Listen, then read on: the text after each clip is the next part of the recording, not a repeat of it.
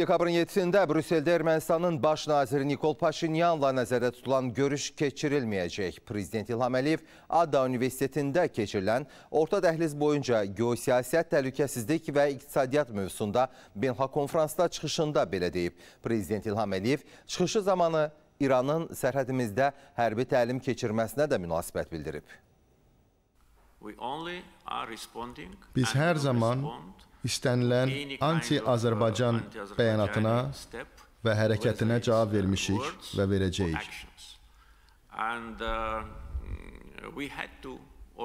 Bu səbəbdən biz İran ilə sərhəddə hərbi təlimləri keçirməli olduq ki, onlardan qorxmadığımızı nümayiş etdirək. Biz həyat tərzimizin, Azərbaycanın dünyəvi inkişaf vektorunun və Azərbaycanlıların O cümlədən İranda yaşayan azərbaycanlıların müdafiəsi üçün əlimizdən gələni edəcəyik. Onlar xalqımızın bir hissəsidir.